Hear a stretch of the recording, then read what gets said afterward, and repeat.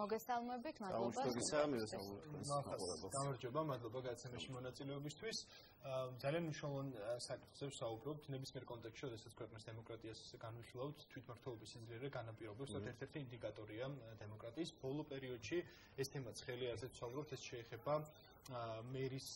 შესაძლო გადადგომის საკითხს, ქალაქ ბათუმის მერზე მაქვს, ლაშა კომახიძეზე მაქვს საუბარი, თქვენ პირადად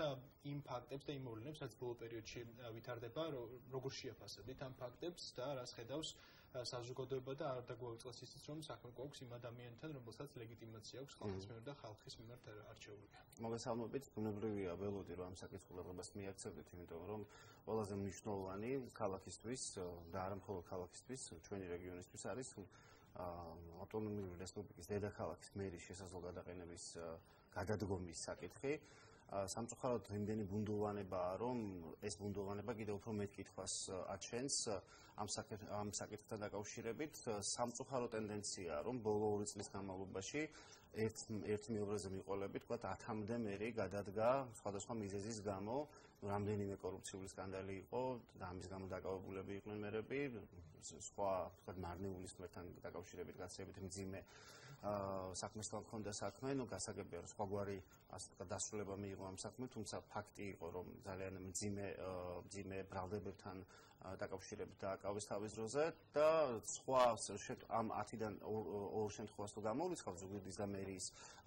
მარნეულის მერის შემთხვევებს, სხვა შემთხვევები აბსოლუტურად გაუგებარია თქვა რა мотиваცია ქონდათ ამ ადამიანებს, შესაძაც მიდიოდნენ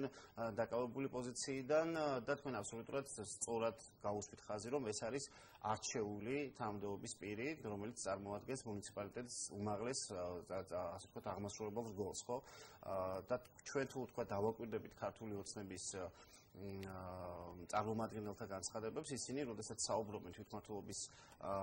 სისტემაზე, სიამაყით აცხადებენ ხოლმე, რომ აი ეს არის ჩვენი დამსახურება, რომ ყველა ქალაქს, ყველა მუნიციპალიტეტს ყავს არჩეული მერი. ამ ბუნებრივია თუ ამ პროცესებს მივადევნებთ ხალხურს და დავინახავთ დინამიკას, ხომ 2019 წელს ჩვენ გამოვაქვეყნეთ თებერვალში ხუთი მერის ხუთი მერის მიერ თანამდებობის დატოვებაზე ბლოგი და ახლაც 2020 წელს ლაშა კომახიძე თუ ნამდვილად გადადგა იქნება მეხუთე მერი, რომელიც აღარ იქნება არჩეული არჩეულ პოზიციაზე.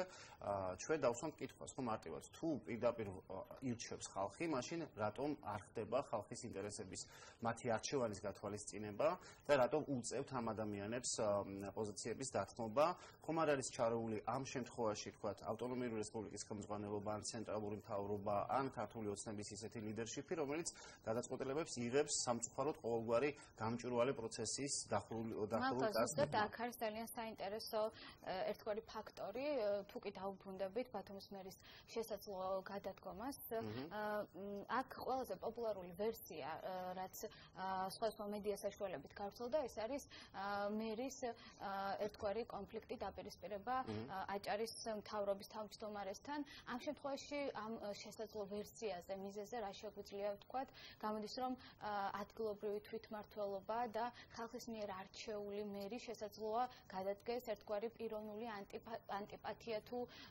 ასე ვთქვათ სიმპათიის მიზეზით და სად რჩება მაშინ ხალხის ხმა და სად რჩება ანგარიშვალდებულება ერთგვარად მოქალაქეების ამორჩევლების მე სამწუხაროა რომ ხელისუფლებისთვის თქვენი კითხვები დარჩება რიტორიკულად იმიტომ რომ ისინი არაპირებენ გასცენ პასუხები ამ კითხვას. მე ბათუმთან ბათუმამდე თქვენ გაგაცანებთ ხულოს მერის შემთხვევას, როდესაც ბატონი გოჩამელაძე უბრალოდ აღარ იყო ერთ დღეს თანამდებობაზე, ჩამ ვითომშობულებაში გავიდა აქტიურად დავიდა შეგულებაში, შემდგომ როგორც გაიყვა, მან დანიშნა საკუთარ მოადგილედ ისეთი ადამიანი, რომელიც მანამდე პოლიციის ხელმძღვანელი იყო ადგილზე, ახლა ეს ადამიანი გახდა ხულოს მერი, ხო? აა და შესაბამისად აი ეს საუბრები თავრობის თავმჯდომარესთან დაპირისპირების თაობაზე, რადგანაც ძალიან ბევრი მედია საშუალება საუბრობს ამაზე, ფიქრობ, რომ საზოგადოება იმსახურებს გარკვეულ განმარტებას ამ კითხვებთან დაკავშირებით. შეიძლება თუ ეს არის უსაფრთხო ბრალდებები, მაშინ კეთილი უნდა ინებოს ორივე მხარემ, როგორც მთავრობის ადმინისტრაციის ხელმძღვანელმა ამ თავუშუალო თავრობის თავმჯდომარემ, ასევე იმ ადამიანებმა, რომელთან დაკავშირებითაც ეჭვობენ, რომ აქ სწორედ კონფლიქტური სიტუაციის გამო იყო დაპირისპირება და რასაც მოყვა შემდგომ გადადგომა, ხო? საზოგადოება, რომელიც ხმას აძლევს და ვალდებული აკონტროლოს საკუთარი ხელისუფლება, იმსახურებს იმას, რომ გაეცა სამკითხოს პასუხი. მეორე საკითხი არის, რომ სრულიად მიუღებელია, სრულიად კანონგარეშეა თუ ეს ეჭვები დადასტურდა და ჩვენ რეალურად საქმე გვაქვს პიროვნულ და პიროვნული დაპირისპირების საფუძველზე მიღებულ გადაწყვეტილებასთან, იმიტომ რომ არჩეული მერის უფროსი არ არის დაჭარის თავრობის თავმჯდომარე, ისევე როგორც მაგალითად სხვა მუნიციპალიტეტების მერების უფროსები არ არიან გუბერნატორები. დიახ, მახას ასევე საინტერესოა ისიც თქვენ ჩამოთვალეთ ხო? ბოლო ორ წელიწადში შეიძლება ეს უკვე მეექვსე იყოს ჩვენ კონსულტ თერჯოლას მაგალითი მეათე იქნება ლაშა კომახიძის მაგალითი თუ ის ამბავი დადასტურდა თერჯოლა ონი ქუთაისის ამბავიც ნუ ფაქტობრივად ძალიან თერჯოლა დღესია ქუთაისში ასევე საკრებულოს ყოფილი თავმჯდომარე გადადგა და ახლა დღეს მანდატი დატოვა თუმცა საინტერესოა ამით რა გზავნილი მიდის მოსახლეობაში. ჩვენ საუბრობდით მაყურებელს რო კარგად გაიგოს არა მხოლოდ ნუ ბუნებრივი მუნიციპალიტეტზე ასევე რიგ სამინისტროებში ძალიან ხშირია ცვლილება თუმცა ამას ვერ შეადარებ უნდა სხვა და სხვა რაღაცა, მაგრამ თვითონ მოქალაქეში რა განცდას ქმნის, ოდესაც მას ფაქტობრივად მისი არჩეული ადამიანი დღესახვალ უკვე არ ყავს, ხო, რა მოლოდინებს აბსოლუტურად ვეთანხმები თქვენი კითხვის პათოს, ანუ ჯერ თუ ხელისუფლების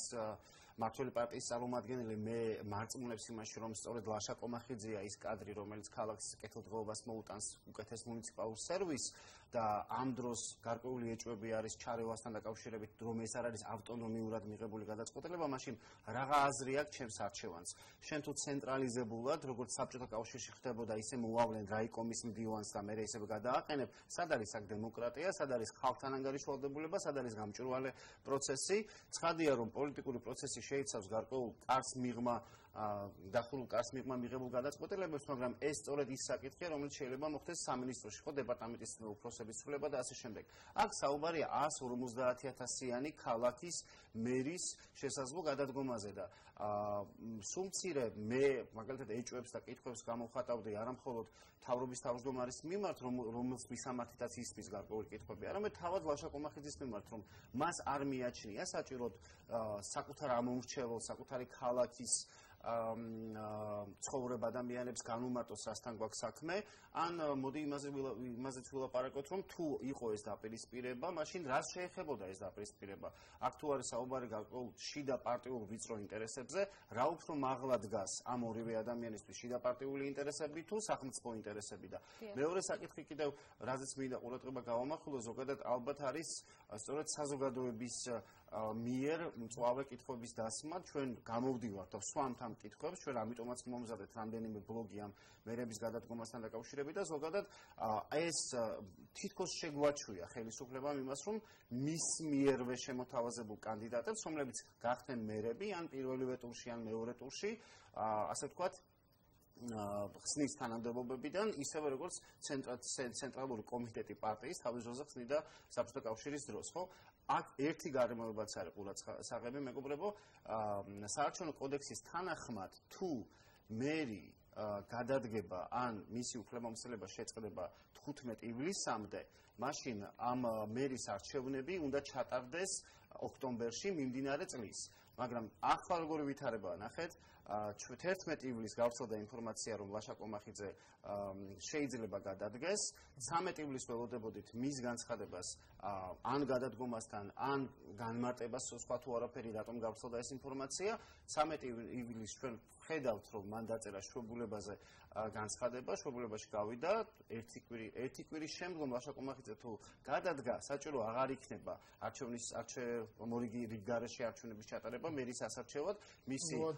მოვალეობის შემსრულებელი ამ შემთხვევაში ვიცე-მერი შეასრულებს ფუნქციას ანუ უფრო ხანგრძლივი ვადით რა თქმა უნდა. და ანუ ქალაქს ეყოლება ადამიანი რომელსაც ლეგიტიმაცია მხოლოდ იმიტომ აქვს რომ ლაშა კომახიძე მიიჩნია მისი მენეჯერული პოლიტიკური გუნდის წევრად და გახდება ქალაქის მართველი თითქმის ა თითქმის კი არა პრინციპში 1 წლის განმავლობაში თითქმის. ამიტომ აი ეს სამართლებრივი ნიუანსები ისე როგორც რაც პოლიტიკური ბრალდებები თუ პოლიტიკური ასპექტები არის ძალიან მნიშვნელოვანი ჩვენი საზოგადოებისთვის ჩამოდის. ბათუმში შეერთებული შტატების ელს ქაბატონ ელს მოუწეს შეხვდეს მერის რანგში მერის მოვალეობის შემსრულებელს და არა ლასაკო მახიძე შეხვდება ბუნებრივია რომ ეს ყველაფერი არ არ ამგონია რომ შემთხვევითი შემთხვევითობას შეიძლება მივაწეროთ. ძალიან დაემთხვა ძალიან ესე ასე ვთქვათ საერთოდ დაემთხვა ერთმანეთს. მის მიერ განცხადების დაწერა შეგულებაზე სწორედ ამ ერთპერიან პერიოდს როდესაც 15 ივლისი გაივლის და აღარ გახდება საჭირო ვთქვათ რიგარეში არჩევნების ჩატარება მომდენო თვითმმართველობის არჩევნებამდე იმიტომ რომ როგორც იცით 2021 წლის გაზაფხულზე ისედაც უნდა ჩატარდეს თვითმმართველობის არჩევნები რას გვეტყვის მსგავსი ქმედება? ერთგვარად პრესტიჟზე თუ პროფესიონალიზმზე საქმის როდესაც ასეთი მნიშვნელოვანი შეხვედრა იგეგმება ამ დროს შვებულებას ემთხვევა ყოველივე. აა ეს შეიძლება საკითხის ერთი ასპექტი იყოს, მაგრამ რო წარმოვიდგინოთ მასშტაბი, ხო ჩვენ ხიად გაცხადებული გვაქვს, რომ მივდივართ ევროკავშირის სტანდარტებისკენ, რაღაც ევროპული დემოკრატიისკენ. მე გაგახსენებთ ბოლო პერიოდში რაც ხდება საფრანგეთში, ხო, რამდენიმე სკვილი ქალაქის მერი გახდა ქალი ადამიანები, რომლებსაც ასევე ისეთი მამაკაცები, რომლებსაც გაცლებით მაღალი პოზიცია ჰქონდათ ცენტრალურ ხელისუფლებაში, მათ ირჩიეს, რომ არჩეული ყოფილიყვნენ ქალაქის მერებად. იმდენად ძლიერია ადგილობრივი დემოკრატია რომ ამ ადამიანებს გაცლებით მეტად ასე ვთქვათ, სურთ რომ პირდაპირ არჩეული ადამიანები იყვნენ, ანუ ლეგიტიმაცია მეტი ჰქონდეთ იმისთვის, რომ შემდგომ მათი პოლიტიკური ამბიცია ვთქვათ,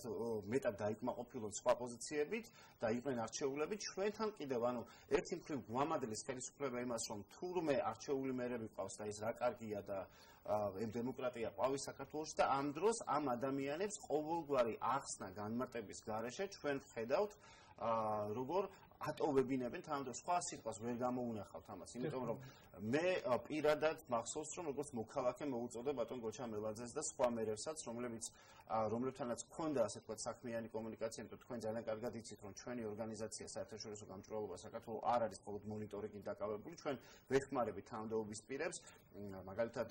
სამოქალაქეებზე გათვლილი ბიუჯეტის უკეთ დაწერაში ქონებრივი დეკლარაციის შევსებაში ანუ გარკვეული საქმიანი კომუნიკაცია გქონდა და ამიტომაც თავისუფლებას ვაძლევდით ამ კომუნიკაციიდან გამომდინარე და ასევე სამოქალაქო პოზიციიდან რომ გაგვესვა მათთვის კითხვები რომ არ ვართ იმის ღირსები მოქალაქეები რომ გავიგოთ რატომ მიდიხართ. თუ პარტიულ ინტერესებს ეცერებით რა არის ეს პარტიული ინტერესი? თუ სხვა ბრალდებები ის მაგას აი თქვენ დაიწყეთ თქვენს უშუალო საქმიანობაზე საუბარი მე შეეხებოდა თუნდაც უფრო მეტ გამჭვირვალეობას მე გულისხმობ ისე ბიუჯეტის ხარჯის კუთხით მორგებულ პროგრამებს რომლებიც გათვლილი იქნება საბოლოო მოქალაქეზე მოდი ესე დავსვათ კითხვა საბოლოო ჯამში ვის აწყობს სწორედ ამგვარი ცვლილებები რომ პირობითად ხალხის არჩეული მერი აღარ იყოს და იყოს თუნდაც ერთი ადამიანი რომელსაც ექნება ნაკლები ლეგიტიმაცია თუმცა რიგ საკითხში თუნდაც ხელისუფლებას მე გულისხმობ თუნდაც თავმჯდომარეს მთავრობის თავმჯდომარეს ექნება მეტი ლავირების საშუალება ამ შემთხვევაში და შეიძლება ვისთვის იქნება მოკეთ ეგ სარგებლენი. ამ სარგებელში მე გულისხმობ თუნდაც პოლიტიკურ სარგებელს გულისხმობ ფინანსურ სარგებელს რადგან თქვენს ორგანიზაცია ძალიან ბევრი ფაქტი გვინახავს, როდესაც თქვა ფინანსების არამიზნობრივი ხარჯვაც კი დადგენა. აი ამ შემთხვევაში როგორ შეიძლება რომ ამ საქმეს შევხედოთ ჩვენ? ყველა ვიცით რომ შევდივარ ძალიან ძიმე რთულ ფაზაში, ეს არის იქნება წინასაარჩევნო პერიოდი და ცხადია მერების ინსტიტუტი ყოველთვის არის აქტიურად გამოყენებული ხელისუფლების მიერ, მათ მიერ გაკეთებული საქმეების საილუსტრაციოდ რეკლამირებისთვის, მათზე არ მოქმედებს ისეთი დათქმები კანონმდებლობის მხრიდან აკრძალვების თვალსაზრისით, როგორც ვთქვათ, ჩვეულებრივ საჯარო მოხელეებზე. ამიტომაც მე ვფიქრობ, რომ ხელისუფლებამ გარკვეულწილად სიგნალი აა გამოუშვა ჩვენი მიმართულებით, საზოგადოების მიმართულებით, რომ ის ეცდება, რომ მაქსიმალურად აი ეს პოლიტიკური თანამდებობის ფიგურების გამოყენება იქნება ყოველდღიური პრაქტიკა პარტიის წინასაარჩევნო კამპანიის სასარგებლოდ. ამიტომ აქ ორი ორი აზრი არ არსებობს. სამწუხაროდ ცენტრალური ხელისუფლება აღიქვამს თვითმართველობას როგორც მის დანამატს და არა დამოუკიდებელ დემოკრატიულ ინსტიტუტს ის არ აღიარებს ჩვენ დავინახეთ 2017 წლის ცვლილებების შემდგომ როგორ უკან დაიხია ქართულმა ხელისუფლებამ მის მიერ არჩეულ ასე ვთქვათ რეფორმების კურსზე რაც ეხებოდა თვითმართველობის გაძლიერებას და ახლა უკვე პოლიტიკურად ეს ადამიანები იქნებიან უფრო მეტად შემოჭილები მიქნება მეტი პარტიული დავალება ამაში დარწმუნებული ვარ სამწუხაროდ ეს